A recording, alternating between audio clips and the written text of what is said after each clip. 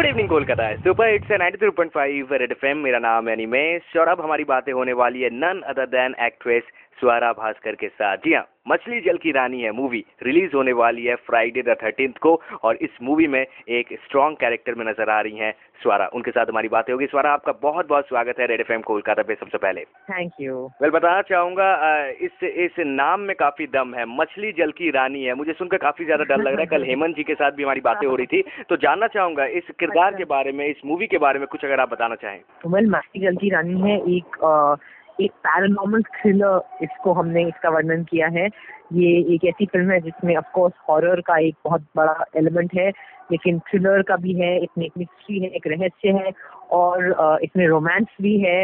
मैंने मैंने पहली बार ज़िंदगी में स्टंट्स भी करे हैं इसमें और पेड़ों के इर्द गिर्द में नाची और गाई हूँ।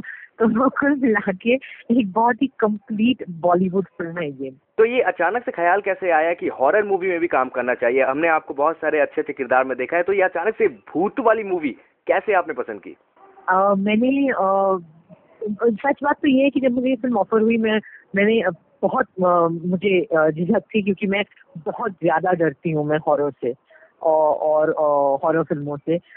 तो मेरा पहला रिएक्शन था कि ये भगवान, मैं कैसे करूँगी? लेकिन जब मैंने पूरी स्क्रिप्ट और नरेशन सुना तो मैंने समझा कि ये बहुत ही एक रोचक किरदार है, एक बहुत रोचक कहानी है बहुत चैलेंजिंग किरदार है एक अभिनेता होने के नाते।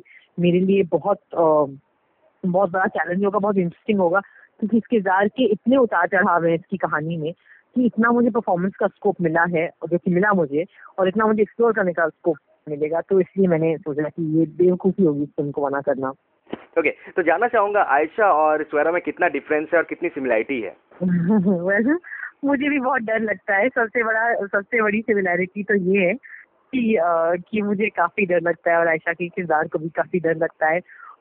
बट आई थिंक कि ज़्यादा सिमिलैरिटीज वैसे नहीं थी। क्योंकि वो जिस किस्म की लड़की है मुझसे काफ़ी अलग आ, है। वो एक बहुत ही बहुत ज़्यादा सुशील सुचरित्र अच्छी सी बच्ची है एक अच्छी बेटी एक अच्छी पत्नी एक अच्छी मुझे मुझे नहीं पता अगर मैं इतनी सुचरित्र और काबिल हूँ। लेकिन आ, अपने परिवार को लेकर बहुत ही जिम्मेदार लड़की है। आई थिंक कि वो वो शायद एक सिमिलैरिटी है। मैं काफ़ी करीब हूँ अपने परिवार से। लेकिन इसके अलावा सबसे बड़ी आ, बड़ा डिफरेंस तो ये है कि उसके अंदर मतलब वो पोजेस है और मेरे अंदर नहीं है।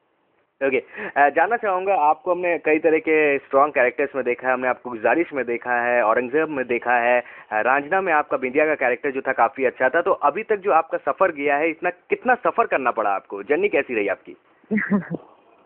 अच्छा बहुत अच्छा रहा है। मतलब मुझे लगता है कि मैं, मेरी जो अब तक जो मेरी पाँच फ़िल्में रिलीज़ हुई हैं, चाहे वो जो मेरी पहली फ़िल्म थी, जो छोटी सी आर्ट फ़िल्म थी माधोलाल की टॉकिंग या ऑफकोर्स तनु एज मनु या रांझना, या औरंगज़ेब जैसी फ़िल्म जहाँ छोटा किरदार था लेकिन बहुत ही इंटरेस्टिंग किरदार था या लिसन अमाया जो फारूक शेख और दीप्ति नवल के साथ मैंने फ़िल्म करी आ, बहुत ही रोचक किरदार और मुझे लगता है कि मुझे बॉम्बे में कुछ साढ़े पाँच साल हुए साढ़े पाँच छः साल हुए पाँच बहुत ही अलग अलग किस्म की इंटरेस्टिंग और अभी आगे जो मैं काम कर रही हूँ चाहे वो मछली जल की रानी हो या अब्बास टायर वाला की मैंगो हो या अभी जो मैं शूट कर रही हूँ अश्विनी अय्यर तिवारी की मिल बटे सन्नाटा या आगे सूरज जी सूरज बरजातिया की प्रेम रतन धन पायो सलमान के साथ। तो बहुत अलग अलग किस्म का काम है। सारे किरदार बहुत ही रोचक हैं। अब अब ज़्यादातर जो किरदार हैं वो मेन लीड हैं। तो मैं मुझे लगता है कि काफ़ी अच्छा रहा है और मुझे लगता है कि बॉलीवुड काफ़ी दरिया दिल रहा है मेरे प्रति। क्या बात है क्या बात है। जाना बता दूँ आपको चालीस लाख लोग आपकी आवाज़ इस वक्त रेड एफ़ पे सुन रहे हैं। आपके फ़ैन फॉलोअर्स कोलकाता में काफ़ी ज़्यादा हैं। कोलकाता की क्या क्या चीज़ें हैं जो आपको अच्छी लगती है? क्या क्या खाने की चीज़ें हैं जो पसंद आती है? कोलकाता बहुत पसंद है। मैं कई बार आ चुकी हूँ कोलकाता। मुझे मैं, मैंने इनफैक्ट एक एड भी शूट किया वहाँ पे। मुझे आ, मुझे बहुत अमेजिंग लगता है कोलकाता। मैंने आ, आ, मुझे इस शहर का कैरेक्टर बहुत ही कमाल का लगता है। मुझे मतलब विजुअली भी वो शहर इतना इंटरेस्टिंग है। उस, उस शहर का इतना बेहतरीन पेस है। मुझे कोलकाता जो सड़क सड़कों का जो की काली भी चाय और सिंघाड़ा बहुत पसंद है जो मैंने अक्सर खाया भी है मुझे कॉलेज स्ट्रीट कॉलेज स्ट्रीट है ना? जी हाँ। कॉलेज स्ट्रीट बहुत पसंद है मुझे और मैं वो पुराने वाले कॉफ़ी हाउस में भी और मुझे बहुत अच्छा लगा ये सोच के कि ओह रविंद्रनाथ ठाकुर भी यहाँ कभी बैठे थे। तो मुझे बहुत मज़ा आया। क्या बात है। जो लोग आपको सुन रहे हैं उन सभी से क्या कहना चाहेगी? मछली जल की रानी है इस मूवी के बारे में क्या आखिर जाते जाते क्या कहेंगे?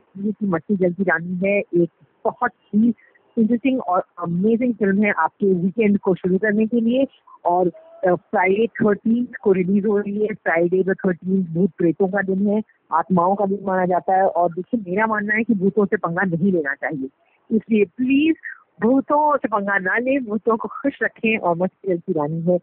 थिएटर में से और बिल्कुल ज़रूर देखें बिल्कुल हम भी चाहेंगे कि आप इसी तरह काम करते रहे आप इसी तरह हम सबको एंटरटेन करते रहे। नेक्स्ट टाइम जो कोलकाता आएँगी हम चाहेंगे कि आप हमारे रेड एफ़ के स्टूडियो में ज़रूर आए। थैंक यू सो मच हमारे साथ बातें करने के लिए। Thank you Animesh thank you पहली आवाज़ थी none other than actress Swara Bhaskar के जिनके साथ हमारी रेड एफ़ पे बातें हो रही थी। मूवी मछली जल की रानी है रिलीज़ होने वाली है फ्राइडे द थर्टीन को। 93.5 रेड एफ़ बजाते रहो।